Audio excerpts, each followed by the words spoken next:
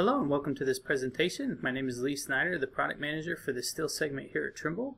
And what I'll be showing is a quick overview of the status sharing extension which is available for download under our workflow tools on the Tekla warehouse. What this extension allows you to do is to create actions and to share status of those actions between Tekla structures and Trimble Connect. So as I launch this tool, it will go in and automatically colorize my model based on the first action that's available there. As you can see here, this is my detailed action. Here in orange, I can see the things that have started, in red, the things that are paused, and in green, the things that have been completed. And as I save actions, I can toggle through this list and easily see things, for example, that have been erected or fabricated. This extension works on Trimble Connect Desktop or in Trimble Connect Mobile, which supports iOS or Android devices. So it makes it very easy to status these actions out in the field or out in the shop or in the design office or wherever you may be. Just to give a quick overview of how this works, I can come in and I can define any action that I want. I can make this public or private, and then I can choose from the allowed values that are available there. So go ahead and click on create. Once that is created, it will then colorize my model, and I can come in and I can begin applying these status values to my model. Once those status values are applied, there's no file import or export. These are automatically shared up to the status sharing cloud that we have created, and I'm able to begin to see those or to assign these status values in the other applications. So I'll close out of this and open up Trimble Connect Desktop. There's a standalone installation, again available on the warehouse that looks the exact same as in Tekla Structures, but it allows me to come in and status these actions within Trimble Connect Desktop. Once that loads, again, it's going to colorize my model. Here in my drop-down list, I can see all of these other actions that have been created.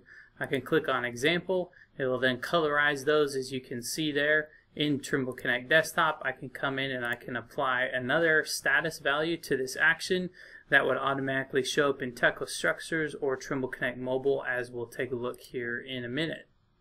One of the really nice things about this extension though is that we can come in and we can view multiple actions together. So if I wanted to view a workflow of the process of a specific piece, for example, I wanted to see the detailing, erection, or fabrication information in relation to each other, I can come here to this multiple actions and I'll just go ahead and build this from scratch. Let's go ahead and remove that.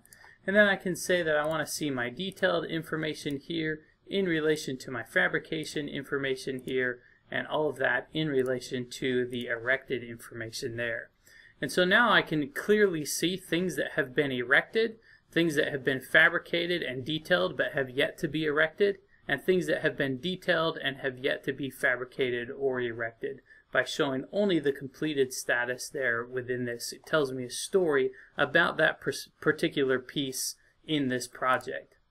Another thing that's really nice is we have this installation animation. For those that are familiar with Tekla Structures and the Project Status Visualization tool, this is essentially the same thing, that as I record these status values, it also records the timestamp of that information.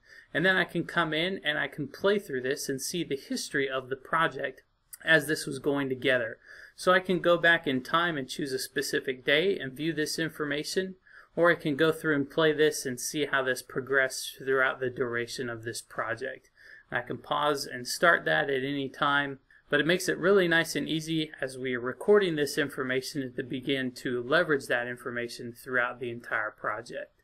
So let's go ahead and jump over to Trimble Connect Mobile and then we can take a look at how this works on the mobile side. So unlike Tekla Structures and Trimble Connect Desktop, there's nothing for you to install on the mobile side.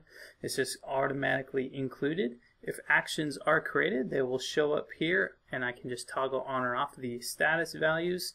It will go then and colorize my model.